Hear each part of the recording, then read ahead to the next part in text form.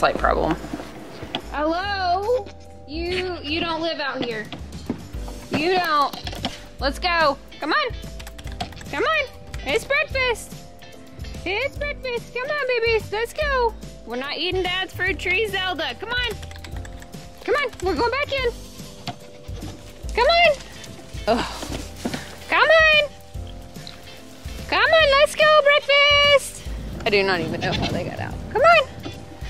Let's go. We're going in. We're going in. Come on, girls. I'm gonna have to go get food and okay. Yeah. Oh, that's out.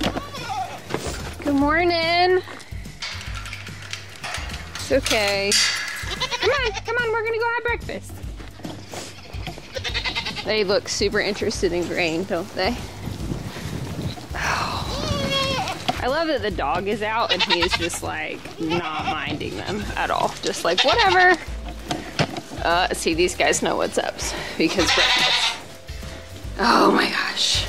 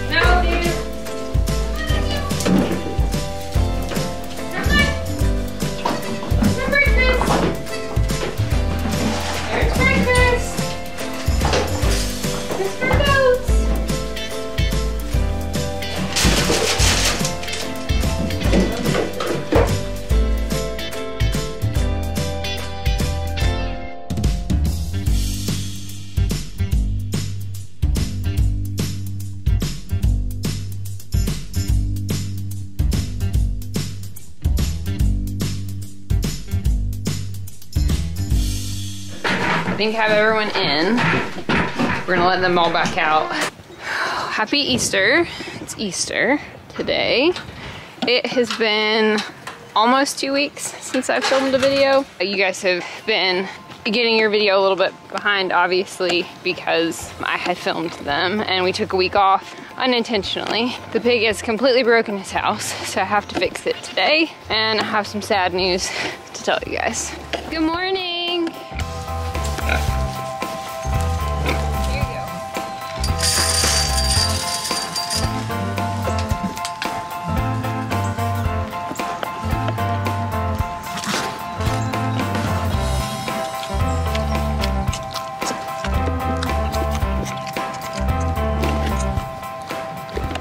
Know that I've explained why they, why they are separated. We've had so many birth videos right in a row to get everybody fed. These guys are mad that they're locked up again.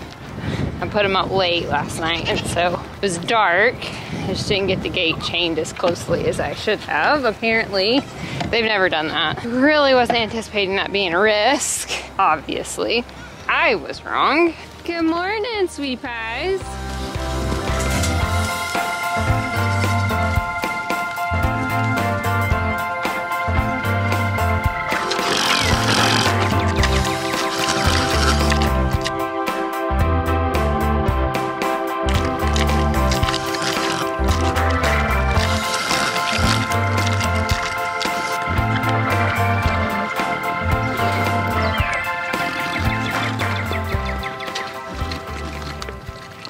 Chop has blown out the side of this house. So I need to get this fixed today because the inside is not waterproof. I've got to put the shiplap back up, screw it all back in, and then screw these back in. So I'm just gonna grab a drill and some screws and get that done this morning. It is way too hot for coveralls. We've been in Dallas for like, so it's Sunday since basically Wednesday, and it's summer in Texas already. I would love to let them back out. So let me tell you, if I haven't, I don't remember. So you can see the top of Bean's head uh, and that red spot that's scabs come off. So that was from Heat and Waffles butting heads. Waffles is not the aggressor, but it's from Bean, kind of trying to put him in his place. There's just a lot that's happened in two weeks. Are you guys ready to be let out for the day? Are you? Did you already escape once? Did you already escape once? You have.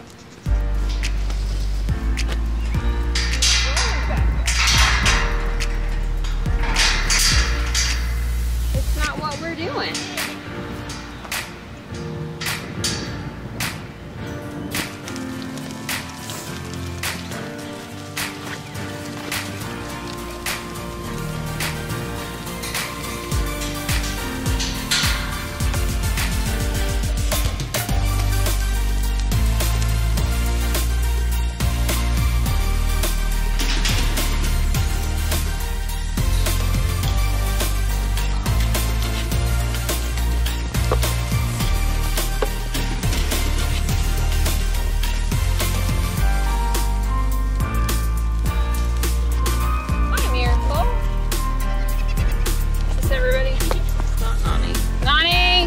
Here's our crew.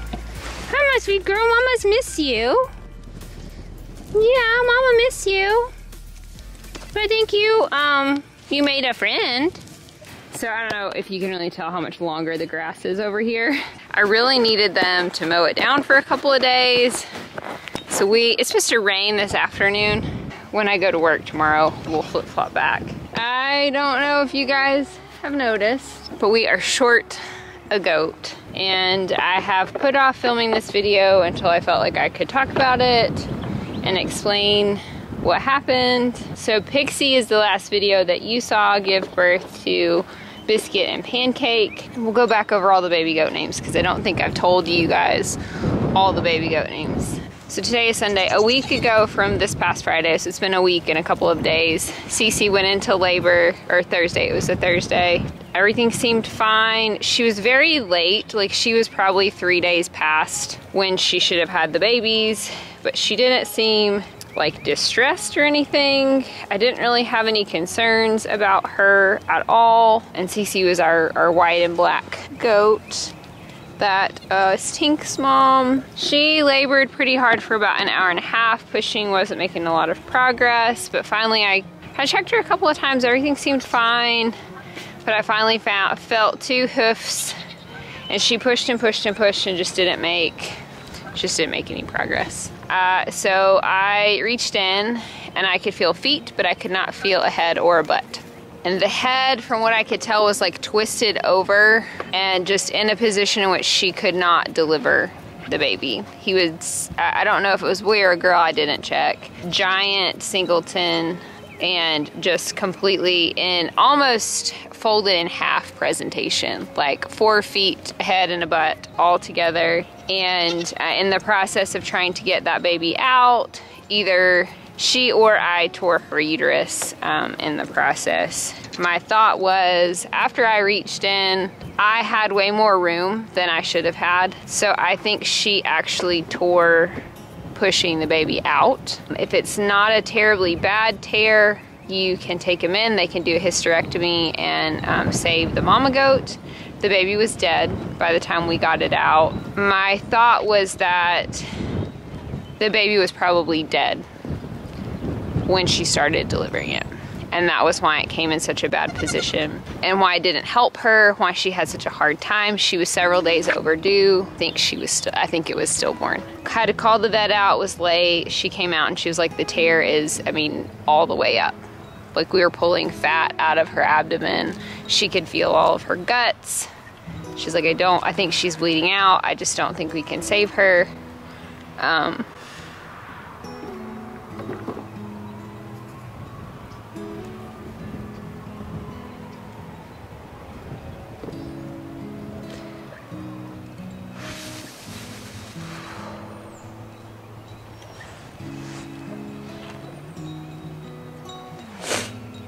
we called the vet, I knew we had probably torn her uterus with the amount of blood that was happening and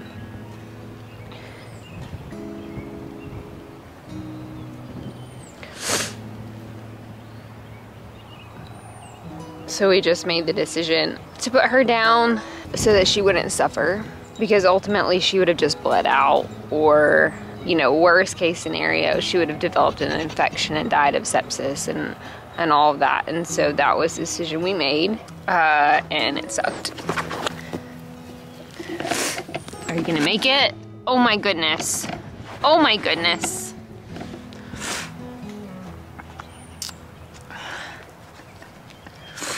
you're a mess your new mama is gonna love you. Maybe be slightly annoyed. Um, so it was really hard.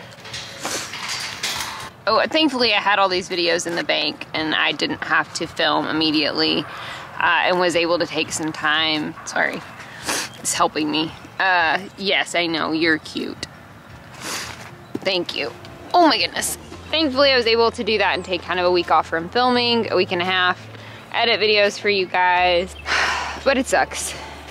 We'd had Cece five years, I think, five or six years. I think we got her in 2017, 2016, 2017. I don't remember specifically. I'd have to go back and look. We still have Tink, her daughter, but I didn't, I've never retained a daughter out of her in order to breed. So that kind of ends her line here on our farm, which is a little bit kind of added sadness where I have girls, the possibility of girls out of everyone else. We have Tink, was very worried about how Tink would adjust because she uh, never left Cece. And because she was so small, Cece really protected her. But she seems to be adjusting well. Um, better than me.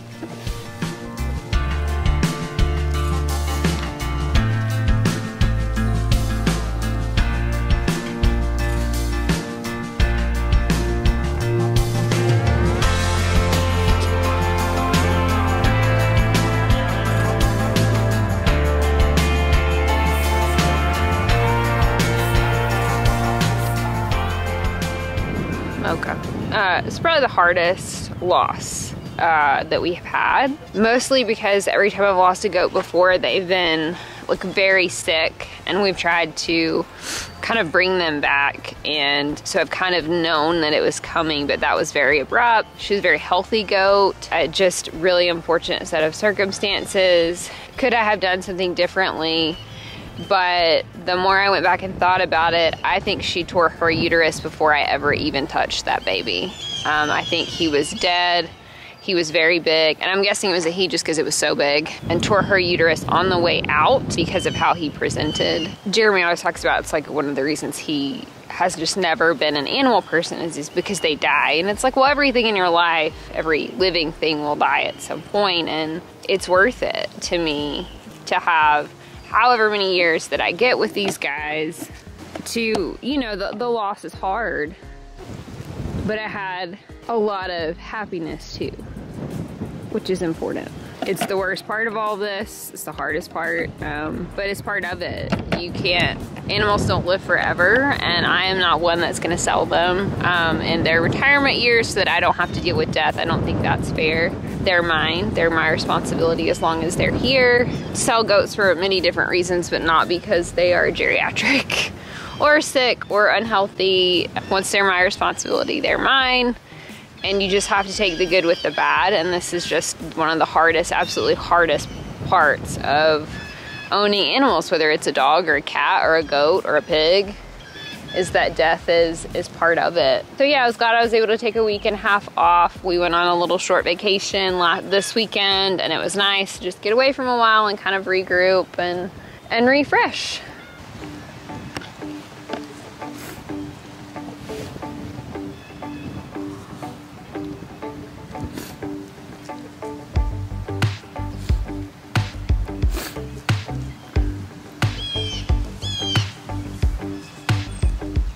So let's update you on, and happier things, the new baby names in case I don't think I've said any of the baby the new baby names in the latest videos. So Poppy's babies that are these two little black and white ones. So I named the girl Olive and then this one Oreo. The boy. He didn't get this buddy because his owners want horns because all their other goats have horns. And then I named Twiz's little blue-eyed buckling Andy's, like Andy's mints. You guys had some really good suggestions, but I wanted something kind of short that was easy to remember and say. And then sticking with breakfast foods for Pixie's babies, we named uh, her buckling biscuit and her little girl pancake. And I do think they win the award for being the most flashy this year. Little Biscuit definitely is the prettiest. This grass is really long. That's why I've got them out here. I really need them to be out here for like three or four more days. The problem is the boys really need to be out of their pens. It's just not enough grass for them in there for now. What we'll do is leave them out today and we'll kind of flip flop during the week. If it's gonna be a really nice, really sunny day, we'll let everyone out. I'm hoping that Bean's head will heal and then I can let Waffles back in for a little bit. That's the first time that they have ever headbutt to the point that his head has bled. They normally don't fight with him and he is not a heavy hitter so it must have just been Bean really got after him and it's probably because they've shared this fence with the girls. The plan is still to order another net to go across. Uh, funds are a little low at the moment because it was winter. We are paying a ton for feed and disbudding was really expensive this year.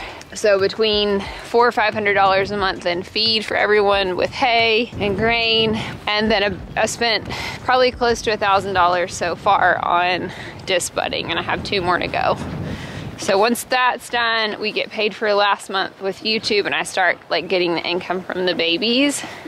Then I will buy another net. But right now, I'm kind of saving my money to get us through the spring the other thing that we've done in that week and a half was move the nets. But last summer we only had two nets and they could not keep up with the grass.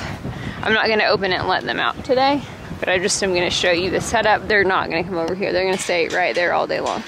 Is to do sections so that we can rotate them. This also makes it easier on us to mow the areas that they're not on. So we have this section and what we can do is pull this this little piece across and then it opens this section which is nice and long because they've been off of it. And then we have this back section. But you can see when you're trying to make pins how much space you lose. Like we had all of that space and now we only have this space. Same amount of nets. And that's really because we're not using as much of this fence line so this corner, if you can see, is not attached to anything. So it can just be moved in and then they can shoot out here, which is also grown up really nicely and all this needs to be mowed. But it is way too wet to mow today. And so keep them a week on this, rotate them in there for a week, rotate them out there for a week. This time of year when it's really wet and rainy, so it's almost like we have like monsoon season, we don't. Spring is always very wet in our area. They can kind of move around so that they're not pooping and eating on the same place every day.